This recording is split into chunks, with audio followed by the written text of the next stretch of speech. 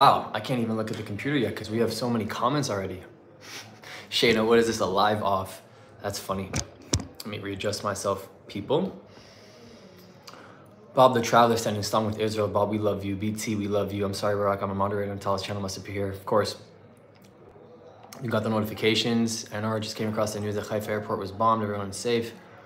So, um, I'm going to fill everybody in on First, I want to let people trickle in. Let's give this a couple minutes. We have nine likes. Nine likes. What is our tradition? I think some of you guys know what the tradition is at this point. Please drop your flag right where you are from, where you are calling from or joining from. Right. Um, what's your flag? Um, guys, happy Thursday. Guys and gals, happy Thursday. We got six people in the room. And we have a lot to talk about. We have a lot to talk about here. And then in 45 minutes, we have a lot to talk about with the traveling clat. Um, I know that there is a decision to be made between right now being on my live stream and being on Tal's live stream. And uh, unfortunately, we are both streaming at the same exact time. Well, we got we got some more people in the room. Um, if you are just joining now and you are looking forward to this, let's get a thumbs up. The more thumbs up we have, don't don't type thumbs up. We need to like this. We need to like the like the stream. The more people that are liking this, the more people that we can get into this room. Okay, so um, the way amazing. Robert, I'm going to get to these questions from Clat. Yes. So the way that this is going to work, if you guys didn't already see, um, assuming most of you did, we're going to spend about 45 minutes together here. We're going to walk through what's going on, what the past like 18, 24 hours has been like for me and for Israel. And at 745, I'm going to encourage everybody in this room. I'm going to actually write it right now. Um, at 1945 we all go to the traveling clat live stream. At 7:45, all of us are going to go to uh, Tal, the traveling class live stream. Okay, and I'm going to be joining. Joining from Pakistan, amazing. Please, please write where you guys are. Where are you guys right now? Please drop your flag. Please write the country. I want to know where we got people on, on this call. Um, in about 45 minutes, we're all going to leave this live stream, and then I'm going to be Scotland, amazing Robert, and I'm going to be joining uh, on his live stream. But we're going to be, uh, it'll be split screen, I believe, and we're, we're A/B testing this. So for the 16 people in this room who have decided to, um, you know what, I can actually pull up his stream right here. Let's see what he what he's got. Tal's a monster, so he probably has way more people than I do, which is okay. He's starting at 7.05.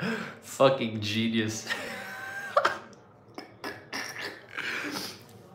Tal's a fucker. He's starting at 7.05.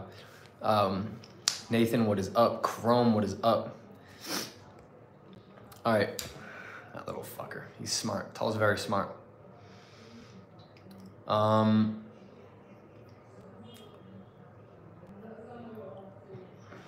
so here's, so let's go. Oh, he's in here. Guys, Tal's in here.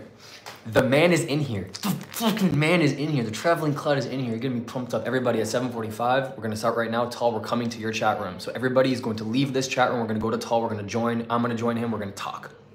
Tal, get the fuck out of my room. I love you. All right. Um, people, here's what's going on in Israel. Um, on Monday, the IDF led an airstrike out in Syria. It ended up killing some very high military officials, um, part of uh, mil military officials that dent, I'm in Saudi Arabia, Filipino, I love Israeli. Kaswi, we love you. Um, one second, I'm having a glitch here. Try this. because I want to be able to get the comments on my computer.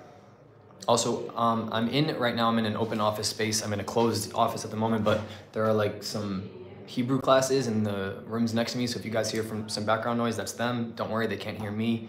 Um, uh, uh, uh, so there were on Monday. Um, on Monday there was a uh, an airstrike led by Israel by the IDF in Syria, um, and it dented Iran because we were able to eliminate some really high up officials that is the equivalent of an attack on Israel reaching anybody like Itamar Ben Gvir, who is the Minister of National Security. I'm not going to go to the extent of saying somebody like Bibi Netanyahu because that's the prime minister, and if you assassinate someone's prime minister, it's just like uh, flat out war. Um, so the the equivalent of taking out some of any of the top 10, top 15 most important people in the Israeli parliament, in Israeli government, um, people who are really big decision makers. Obviously, these people were running sort of a, a war operation, terrorist operation, and we, we killed them. We, the IDF. In response, um, Iran has continuously, Iran has continuously threatened Israel to retaliate and attack seriously. Now, this happened on Monday, but the threat that we received here in Israel, guys, let's get this to 20 likes. We only have 15 people in the room. We got to get more people in this room so we can talk about what's going on. I want to share also very, very soon. I want to share also like what essentially the weird things that has been going on on top of just the threat that we got from Iran. So let's get this to 20 likes. We need three more. Um, and and uh, yesterday, they essentially came out with a statement that within 48 hours, Iran would uh, would carry out a deadly strike uh, out in Israel and primarily in places mostly like the center of Israel. When just to give you guys an idea of like the landscape real quick, you know, I live in Tel Aviv and I'm considered very much the center of Israel. Um, and when an enemy threatens, they call it the Mirkaz, the center. It's it's kind of fucked up to say, but it's a, it's essentially a little bit more of a increased threat than it would be to threaten a very far suburb. Not that their lives matter less. That's not that's not the case. The case is that inside of Tel Aviv, for example, we have the Kiryat, which is the head of the IDF. It's the headquarters of the Israeli Defense Forces, arguably one of the most valuable properties in the state of Israel, aside from, you know, um, the prime minister's house, the U.S. embassies, the parliament um, the old city in Jerusalem. So, you know, any of these, any army base, these would be very sensitive places that, that if an enemy were to attack, for example, Tel Aviv, but there's never been, ever, ever, ever been, uh, Nathan, I'll get to your question in a second. There has never been um, an attack directly at the Kiryat because if somebody were to successfully hit the Kiryat, it would turn into um, I'm not sure if the place that were to reach the Kiryat would exist anymore. Okay, that's that's me maybe being a little bit um, exaggerated, but that's kind of like how it is, how serious they take it. So Nathan, I'll get to in a second. Um, VR coins, why what? So essentially, um, we have been this cycle of like I don't want to call it psychological warfare because it's not a matter of of if yes or if no. It's a matter of when. Iran is most likely going to do something, but I think the important thing to keep in mind here is it's not necessarily going to come directly from Iran. It's going to come directly from one of their proxies. And at this point in time, you understand that their proxies consist of people like Hamas or Hezbollah or the Houthi rebels. With everything going on, it makes a lot of sense that Hezbollah will probably be the people who respond it is actually directly Iran because it doesn't, no matter how you look at it, there are tentacles that live under Iran, and those tentacles are Hamas and the Houthi rebels and Hezbollah and other terrorist groups. So if Hezbollah attacks us, yes, maybe it wasn't Iran out in Iran flying over a trajectory missile, but uh, a projectile missile, but it's still Hezbollah is still one of their um, chess moves.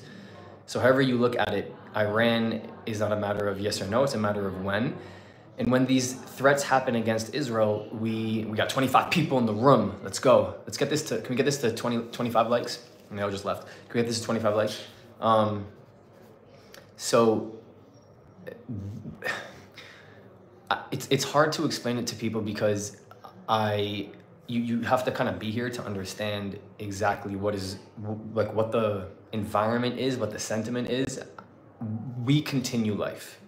We very much so continue life, even when a country like Iran threatens us after something pretty severe for them, like dented them and their people in charge, their staff.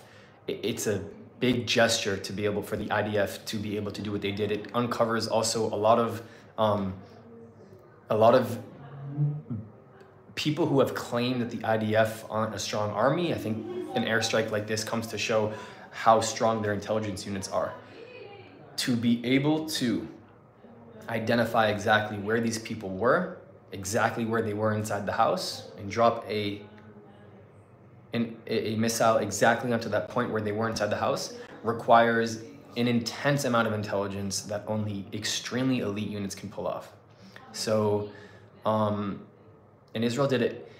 And of course, Iran is going to say something back. Of course, an enemy state is going. They, anytime Israel success successfully, it's kind of like an ego thing too. Like people in the Middle East have an ego, and a lot of like the the conversations around these responses with terror, a lot of it is like an ego thing. Like Iran is like, oh, this is a reason to do a serious attack. Versus throughout the past three or four weeks, I don't know if you guys have been noticing, but there are just missile attacks almost every single day in the north. But those don't get put on the national, on the international scale. But now suddenly, when we hit somebody who's more serious, it gets put on this huge international scale that they're going to um, drop bombs over Israel. Now, um, I'm gonna get to the questions in a second. I have continued my life. Everyone else around me has continued their life. And when you walk around Israel on a regular day, if an alarm randomly goes off in a period of time where maybe there wasn't fighting or war, it, it, does take a second to kind of like, you're a little bit discombobulated for a few moments, but then you realize, wait, shit, this is part of like life here, and then you go. I think that that transfer, that, that moment of transfer from trying to figure out what's, what's exactly going on won't exist right now. Because as soon as something goes off, everyone here will know that it is in response to what we saw on Monday. And I, I guess I'm saying that to you because it's subconsciously in our heads, it's subconsciously in mine. I weirdly, last night I went to bed and I sometimes put in earplugs just to stay away from any any other noise and I have like a, a, a white noise machine and everything. I didn't put the earplugs in last night because, um, ironically so, on October 7th, I was woken up by a roommate because I did not hear the first siren, which is crazy. And I had my had my ear my earplugs in in my uh, in my ears while I was sleeping. So that for me has always been when these situations intensify. I do ch- change my behavior a little bit. I kept my windows open. Um, can't miss a siren, right? Um, so I want to get to a couple other things that happened last night and this morning in Israel that are for sure directly related to Iran and what they're trying to show us right now. First, I just want to look at these questions. Nathan, what is the feeling in Israel after Gantz? it's hard it's hard to answer this because the majority of people's attention right now are on is on Bibi and especially after what happened on Saturday this previous Saturday almost a week ago when the or the organized protests against the government against Bibi joined with the entire hostage forum gathering, which essentially is every single Saturday night, and they each respectively gather in their own spot, but they merge together. And I talked about this on my live stream, I think on Sunday.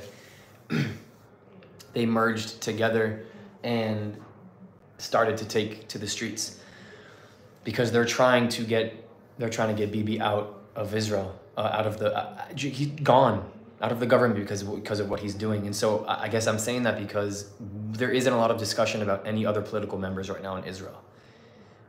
it seems foolish for people to and I think one of the reasons, Nathan, is because, you know, since I've been in Israel, I've seen six elections. I've seen six elections in four years. These numbers don't make sense. Um, and it comes to show the level of corruption and I think how much of a broken system there is with voting and politics and of course the prime minister.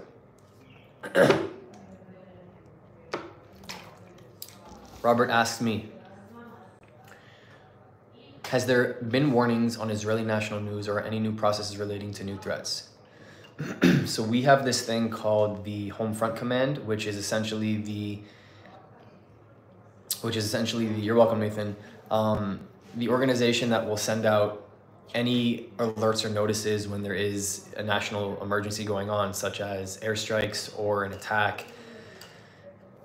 They'll contact you when they are starting to open up the underground shelters, and every single area in Israel has specific locations that are posted on a digital map that you can refer to if you need to go to an underground shelter in the event that one, your house or building doesn't have a shelter or a mamad, which is like a safe room.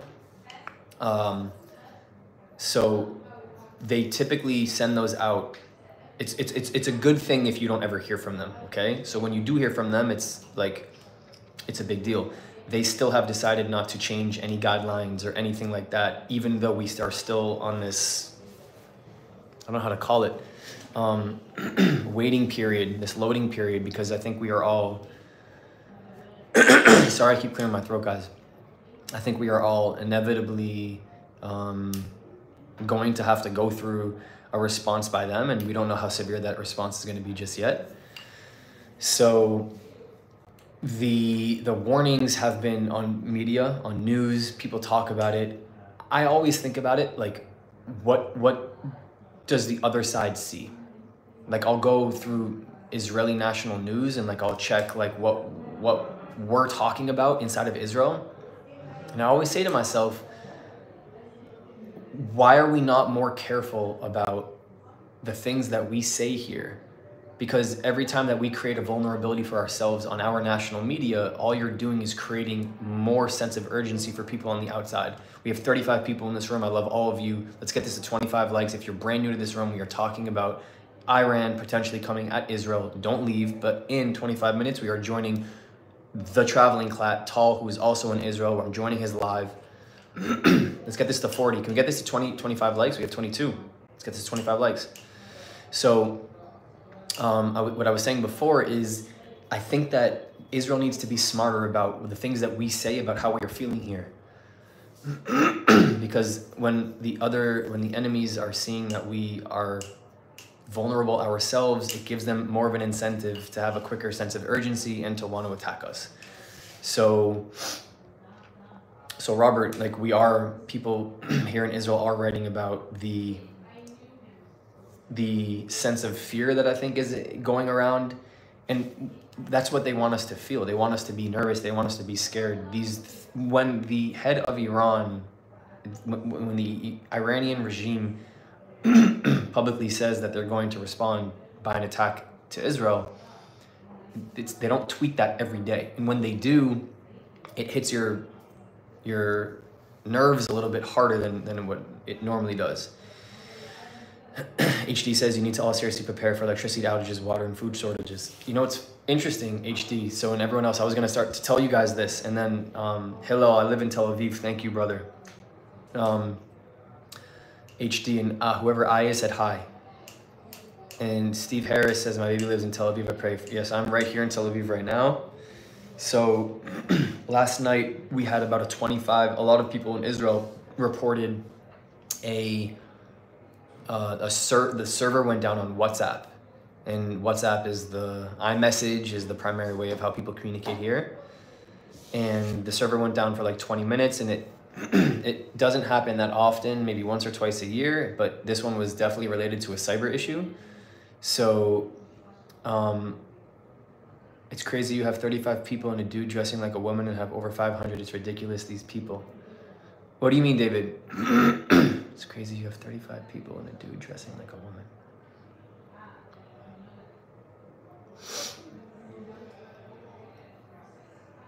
David, what do you mean?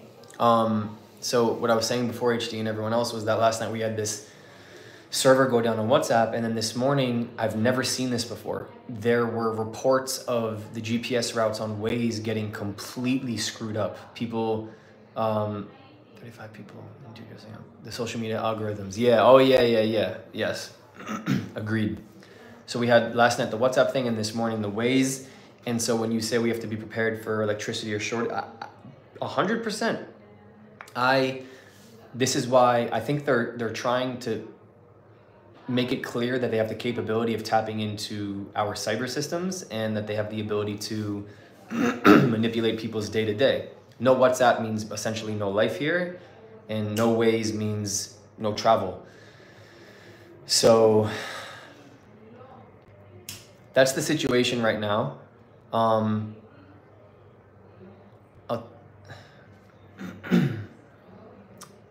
Batia from Kenya. I fucking love Kenya. I love Africa. I want to go to Africa so bad. Is the attack on Iranian personnel worth the possible loss of Israeli civilians? Subjectively speaking, I can't make sense of the strike from a third party view. um, so, Robert, the there's no such thing as, in in my opinion, an attack on any personnel worth the possible life of Israeli civilians one Israeli civilian, as we saw with Gilad mm-hmm. Shalit when we traded, when we traded, when we handed over uh, in exchange a thousand prisoners of war for one Israeli soldier.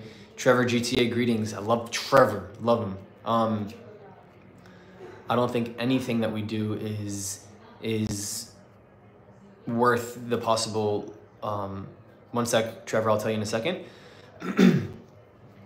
is worth the possible loss of Israeli civilians. However, if there is one country that makes Israel put their guard up the most, it is Iran. You can ask anybody that lives here. We're not nervous or scared of Iraq or Syria or Lebanon or the West Bank or Gaza or Egypt or Jordan. Iran is kind of like because we understand their nuclear their nuclear weapon capabilities as do they understand ours but we, yeah, I know, or thank you. We're talking about the escalation between Iran and Israel. But anytime that there's, I, I think the real reason that Israel has, has done this is to really show Iran how well we are further ahead than them at understanding like where their top ups are, up, their top operatives are, and that they can't fuck around. Part of me doesn't part of me doesn't really think that they're going to do anything. We have this expression in English, like they don't want that smoke. I don't really think Iran wants to do any, they don't want to fight Israel. How many times in history do we have to go back and show that Israel was the underdog every single time and that we have come out stronger and better and won every single time? It's, it's happening now and it's going to happen again. You can see what's happening in the north, like Hezbollah, like like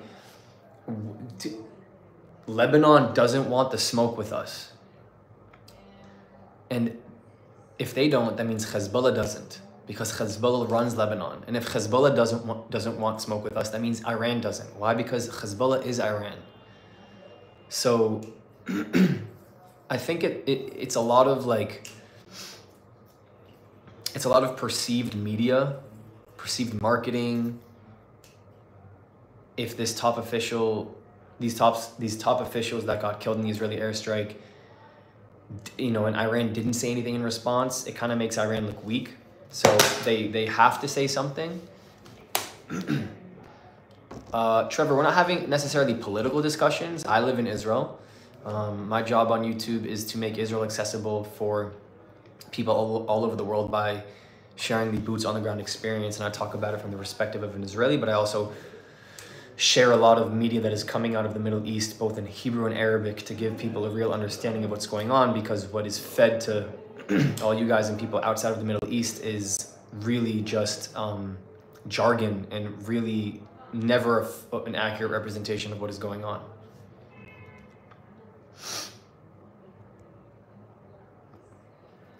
Sonny's asking a really good question. is Israel capable of intercepting Iranian missiles and drones, drone barrages? Um, we have the the Iron Dome, as you guys all know. The Iron Dome does not have a 100% interception capability.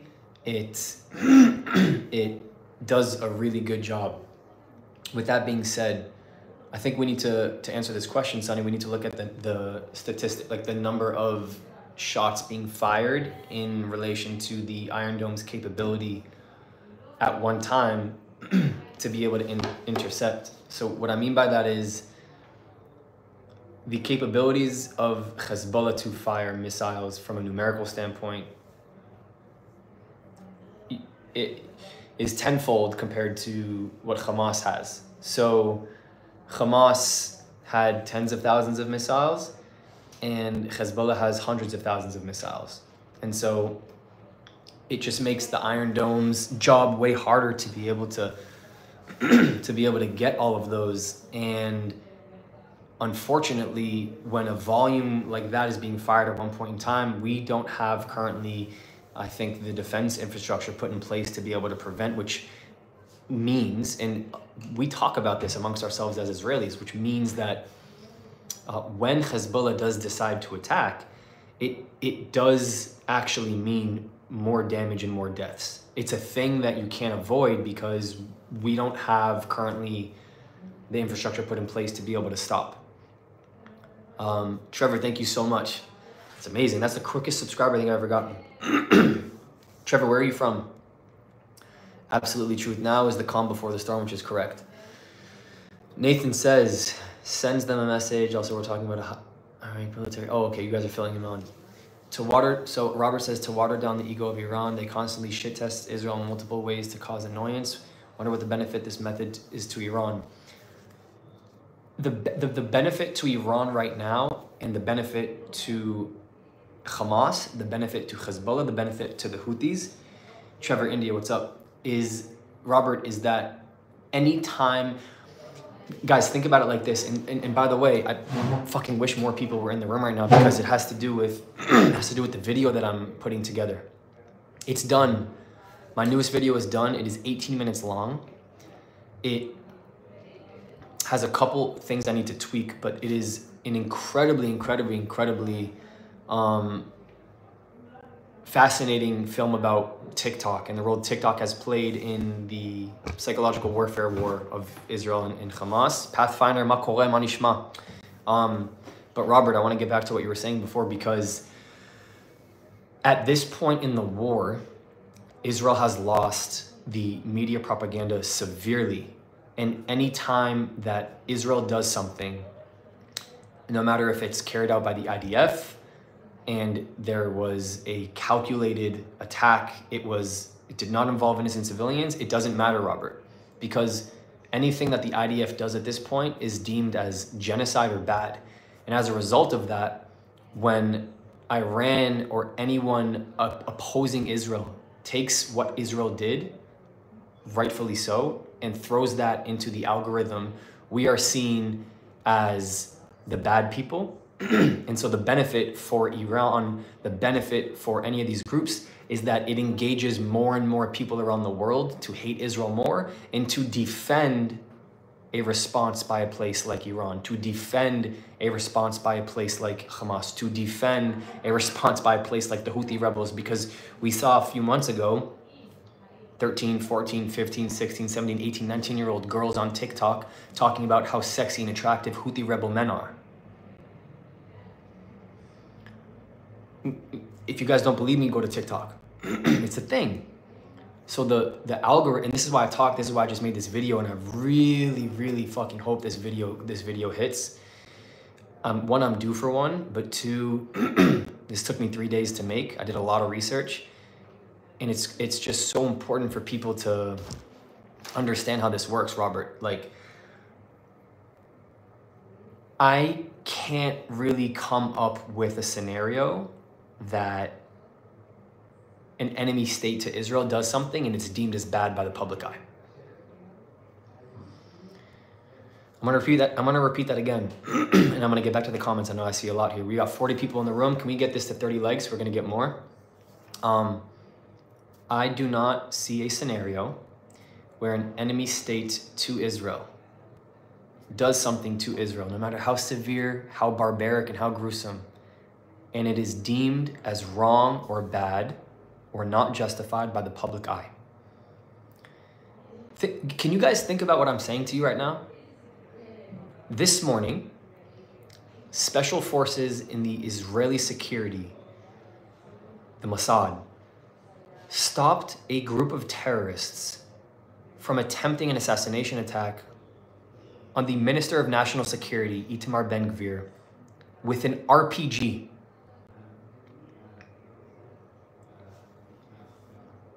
And I have seen throughout the day people upset about the fact that those people got stopped and that that attack wasn't taking place.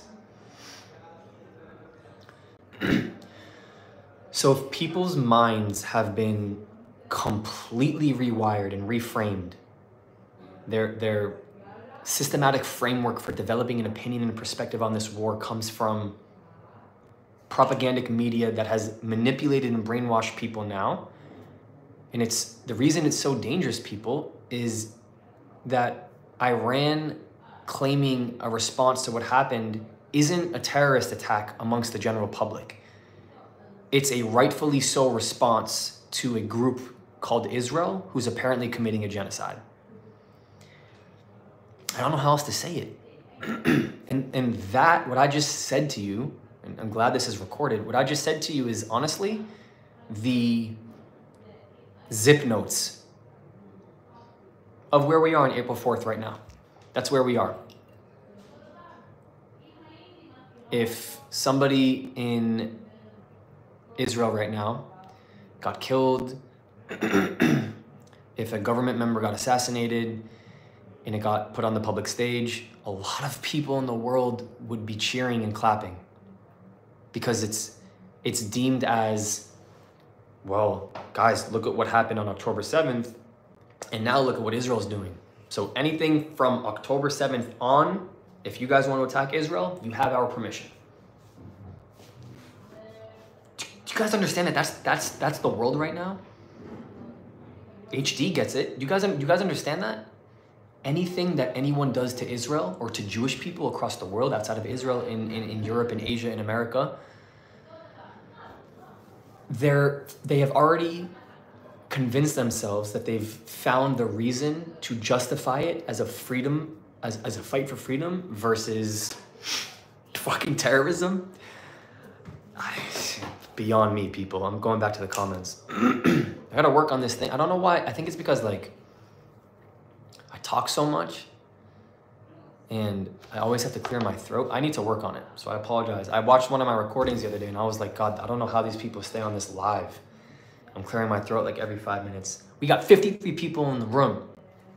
53 people. Oh, now it's 47. That's sad. Can we get this to 30 likes though? I love all you guys.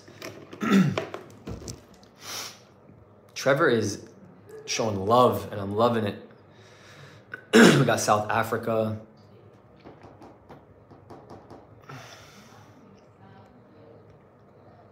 Do we have any questions? oh, endocrinology. Why is Israel committing another Holocaust? Today I'm going to choose not to engage with people like you. um, Torchy Beacon. I fucking love Torchy Beacon if we were hypocritically in the worst case, sorry, probably in the worst case in the war, and it would be dangerous to stay in Israel, which country is best to move for my safety? Hmm. That's a good question. Um, maybe an un no, I don't. I wouldn't call this an unpopular opinion. I would just, I would just say that um, so I'm just making sure that they're not clicky. We're good. Um, trusty Tor- Torchy Beacon. I would go to Germany. I mean, I, like I have an American passport, so I can. Hold on. yes, HD. That's that's true. I want to just write. Ten minutes. We go to. Tal. Fuck. Ten minutes. We go to Tal's live stream. Guys, in 10 minutes, we are going to the traveling class live stream. I'm going to be co hosting with him. We're going to merge. um, yeah, Argentina, India, the Philippines, Germany. You know, I have an American passport. I could go to America. Um, but that's a really good question. The reason I'm having a hard time answering it, Torchy Beacon, is because Javion, what is up is because I can't imagine, I, I, I refuse to imagine not having the state of Israel. This is our country, and, and nothing will nothing will wipe us off the map. It just won't happen. We're we refuse. You know, it's like it's not a it's not even a discussion. It can't be a discussion. Sunny asked, "Do you think that Hamas might have might have the capabilities to attack Israel like that from the Russians?" I don't think so. Not Hamas. I, I think Hamas genuinely is weak now. Um, and once once Israel like enters um, Rafah, I think I think that might be close to the end of a lot of their military capabilities. We have seen the past couple days actually some rocket attacks in Sderot, which is one of the villages on the southern border. So, oops, sorry, that was not intentional if you guys didn't see me for a second. okay. Nathan's asking a good question. In Ayanora, you're right. I, I, I haven't been to India, and I fucking love Indian food. I love Indian people. Do you guys know Moses in Israel? Um, Revi, she's a very good friend of mine. She is an Indian Israeli. She lives here in Israel, and she's huge on YouTube. She had a video last week that did over 200,000 views. and um, I just love Indians, honestly. So India would probably be there, up at the top of the list. Uh, Nathan asked, the IDF hasn't entered into Rafah. Is it because of American pressure or are they waiting for Ramadan to be over? I think both. We've, knock on wood, ha haven't seen a huge escalation. Can we get this to 30 likes? We got 29 and 29. Somebody hasn't liked. I need a, I need a 30th like. We got to get more people in this room. We got about eight more minutes. we got 29. Any more? Can we get one more person to like the like the room? Um, we haven't seen any craziness happen. Amazing, 30. Love you guys. We haven't seen any craziness happen on Ramadan here in Israel. So I think that Israel is showing a, I don't want to call it a nice gesture because what's nice about it to them it, when we enter, because we need to get our hostages fucking home. But there hasn't been anything crazy here in Jerusalem, and so I don't think that they are pressing on the gas pedal just yet to go into Rafah. But there is pressure from the states too. You guys have to, and I talked about this in my video that I made about TikTok, and the U.S. in comparison to October, November, and December has done a real, real 180 with their stance on this war and their support with, with Israel. And Israel needs to be very sensitive to that because they're our best and biggest ally.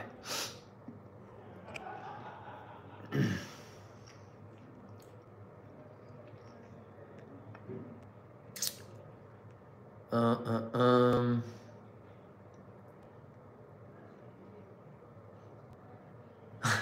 Canadian president, I swear to God, I joined the IDF. I'm not even Jewish. They let me join. We love you. Trevor, I love you. Oh, I'm gonna collab, Anor. I'm gonna I'm gonna collab with Revi. She's amazing. okay, we have 40 people in the room, and we have five minutes, guys. In five minutes, in five minutes, in five minutes, we go to Tal.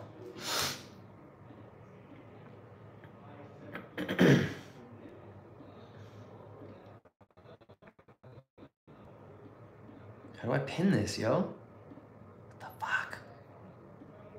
It's not letting me letting me pin. Anyways, anyways, um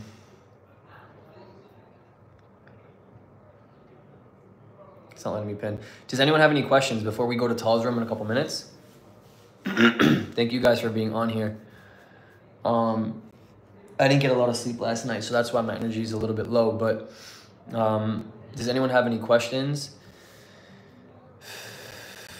about Israel, about what's going on, about how I feel, about what it what, what it's like here? Ramiro, you're just adding to the algorithm, my guy. Keep typing SUS.